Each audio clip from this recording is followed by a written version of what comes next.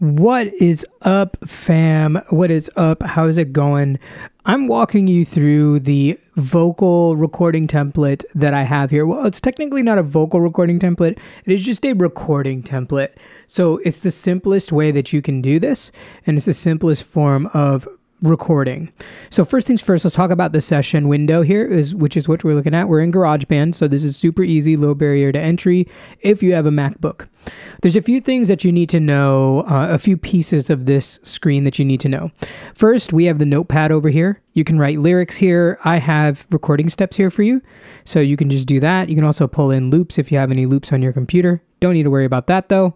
Uh, so I'm just going to keep this open so you can read it as we're going along. But first things first, let's talk about what we've got here. So we've got this is the arrange section here. This is like the where all of your audio files will go when you're recording or when you're bringing your beat track in or anything like that. Uh, this is what you call the transport controls, meaning stop, play, record, loop. And this right here is your cycle or your loop. So you can loop sections and just it'll continue to loop around. So you can turn that on and off. There's also a quick command for that. I believe it's C. And then the record quick command is R. Yep. Play is spacebar. Stop is also spacebar or zero. And then you, I normally don't use these, but you could use them if you want to. And then here, this is telling you where you are, where your playhead, this guy right here, this is your playhead. And basically, what this is going to do is um, this is basically where you're going to set things and you can like set things to record. So, this is the playhead. That's what it's called. This bar that you'll always see on your screen, right? So, if I hit play, you'll watch the playhead move. So, I'm going to hit spacebar to play. See how it's moving and see how these these uh, numbers are moving up. Now you can actually click into here and you can change the way you see this. Right now it's showing the beats and the project and, and all of that stuff. You can also do like that, or you can do time, which is just the time. I recommend doing beats and project that gives you the most information, the most important information. So basically, this is telling you exactly where things are. Now, this is going to be really important for recording because you want your recording to line up to this grid. You don't have to be perfect to it, but whenever you're recording, it's going to make your editing life so much easier if you record to this grid here. See how there's like lines and stuff and it's separated. See the numbers on top. These are uh, beats and bars and all of that good stuff. So you got, you're on the first bar. This is beat one. Now if I go to the third one here, that's beat three of the first bar. Not going to go too deep into that, but I just want to show you like this is your playhead and this is where you can set things and you can just hit R for recording and look, it starts to record at that point and you can see me recording. So let's just undo that. We don't need that. Okay, so to wherever you put this and wherever you set this and hit record, it'll count four bars and then record. Now, why would it count four bars and record? Because we have this one, two, three, four setup. See that? So you click that on, that gives you a one, two, three, four count and then um, or count in. So most songs are going to be in four four. We're not going to talk too much about it, but it'll give you a count in, so you'll have like a little bit of time before you have to start recording. It's usually it's very helpful for me. I usually just keep it on all the time. And then right next to that, you have your click or your metronome. Basically, this is allowing you to stay on time.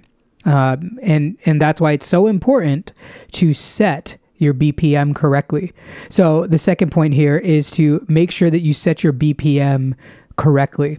So for example, if I went ahead and I dragged in this beat right here. So you notice how the beat doesn't have the BPM on it, it just has the name and all of that stuff. Uh, there are ways where you can search your BPM online. Um, you could put your track in there and search it. Um, lot, or GarageBand doesn't have a meter. Sometimes you do, but uh, this is something you're just going to have to try to find the information and just get that information. Usually, if you're buying your beat from somewhere, you'll have that information uh, somewhere in the description, or uh, if if it's if it's a beat of mine, I put it in the in the title here. I put I usually do it. This is one of my tracks, so I didn't need to. So I know that this BPM is 120 or 155. So usually when you open up the project, it will be set to 120. That's a default.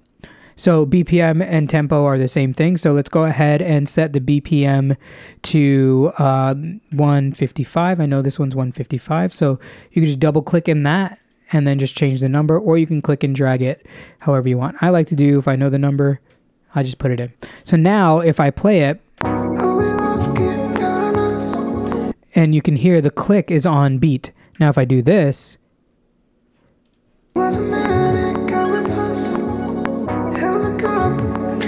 notice how the click doesn't exactly line up, so it doesn't feel like it's right. So that's how you know you're off uh, if it doesn't exactly line up. This is what it sounds like when it's on time.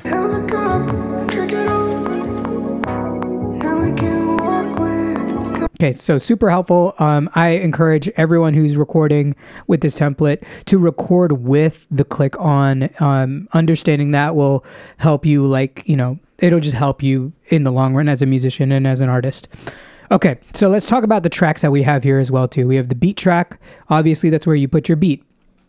And then we have your vocal good or your good takes. So basically these good takes are like the takes that you like and I, I have it as a separate track so that you stay organized. So what I would do is, um, as you get more involved in this, if you're going to do more vo- vocal layers, there's other things that you can do. But just to keep this really simple, you have a vocal record track where you record your takes, things that uh, you want to record. Say you mess up and you want to re-record it, you can delete it on this track, and then you have a good take, and then you you can pull that up to the good take track. And on the good take track, you don't touch it. You just kind of leave the vocals there. Those are the ones you're done with. They're good. They sound good. And then you kind of just like keep going from there. So I would record on this track. Now you're like, okay, how do I set this up for recording? Easy. I'll show you. So if you click on any of these tracks, you have a couple of things that come up. Sometimes, if it doesn't come up with that bar on the bottom, you just need to go over here to the top and press that, or you can press the B button and that will open it up. This is the smart controls. And basically what you want to do is make you make sure you're selected to the track. You want to select controls so you can see all of these things. And over here on the input, you want to make sure that this circle is one circle and not two like that. Because this is stereo, this is mono. You want to keep it so that it's uh, mono.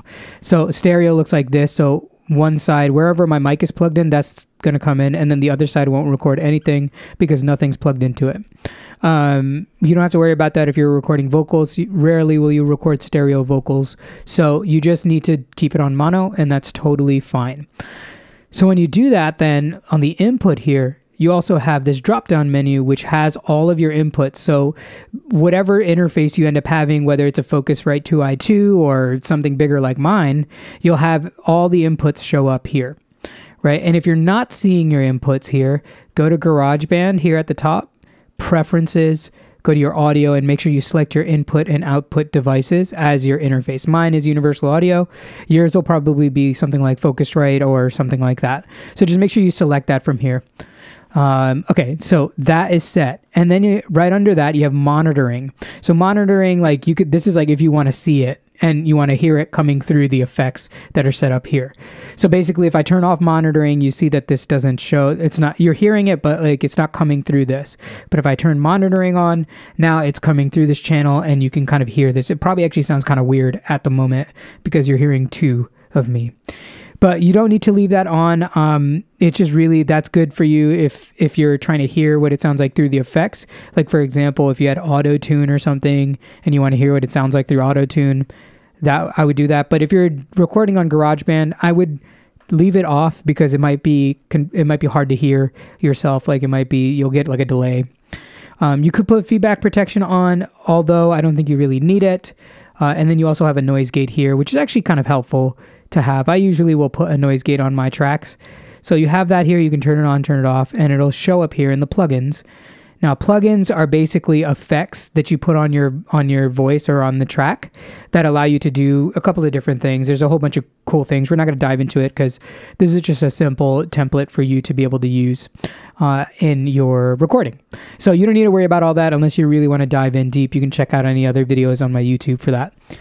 So um, so yeah, basically what we would do is have our beat track and then basically we can have this set right here and then we will just record. It's already set up, so we can just record. So I'm going to hit the R key. Now we're recording.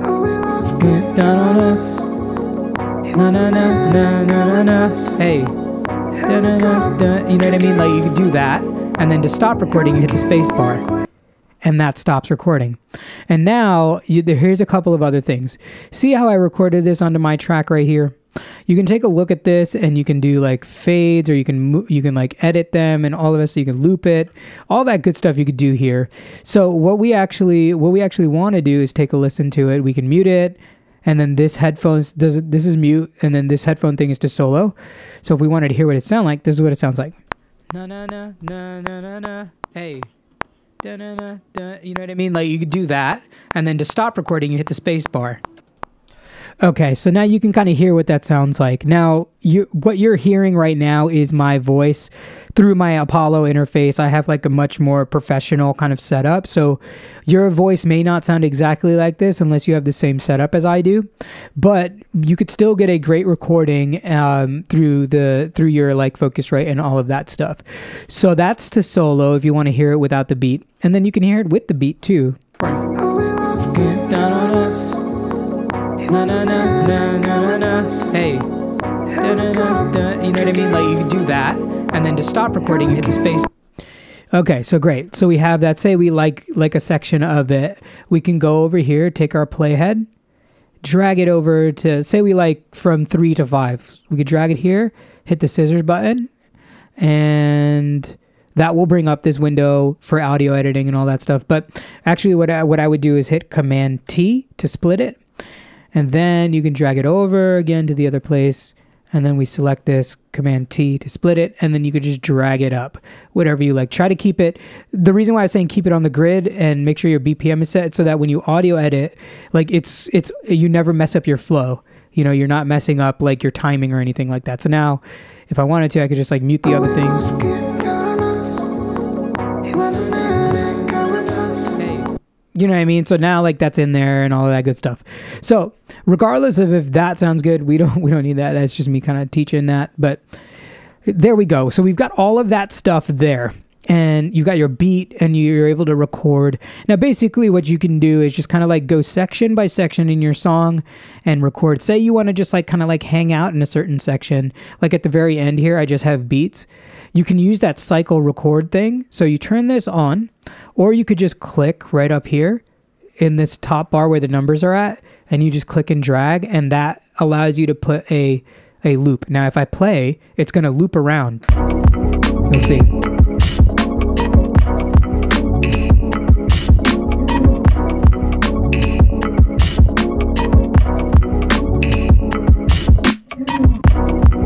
See how I looped around like that? And you can endlessly loop. It'll endlessly loop. So if you want to record the section a couple of times so you can get your flow right, you could do that here too. And as you record, like let's just do a small section so that so that you can see that. If you record on your track, it'll continue to loop. One, two, three, four, five, six. Hey, one, two, three, four, five, six. Yeah, yeah, yeah. One, two, three, four. Yeah, yeah, yeah. Here is another take. All right, cool. So now I recorded all four of them. You're like, hey, Kirk, where did they go? You see this little number right here? That shows you all your takes. So you can go through and you can actually pick the best one. And like, say I like take number two, and then I can just put that up there. Or what you can do, this is something I do all the time, is I will click here and delete unused takes. So which if you if you record all these takes and you have them, it's fine to keep them, but um, just to make your session a little bit better and work easier and all that stuff, I would just make a decision, pick your favorite one, and delete all the unused takes. And now you only have that one take. And notice it tells you which take it was, and you can always just re-record it if you don't like it. Um, and that's the cool thing, you know. And and here's another cool thing as well. This is take two, and it recorded it uh, over and over again. And if you drag it out, you could still see the other takes there. So like you don't lose it really. They're there. So it's it's cool. Um, but you just don't have them like on top of each other and all of that good stuff. So um, there you go. That's that's pretty much recording uh, basics and and using GarageBand in this template to kind of help you out and record. Now, if you want this to be a little bit more effective for you, what you can do is click onto your vocals here, press the B button to bring up your controls, and you could play around with the plugins that you put on here. Logic has a lot of really good like plugins that you can play with and you can just learn a little bit of mixing and it'll go a long way. Um, I already started off with a little, like a little bit of EQ that I threw on here, a little bit of compression. You don't have that much flexibility in GarageBand, but um, it, at least you'll be able to get something that sounds decent as a demo. So hopefully that helped, and I am excited to hear the music you create.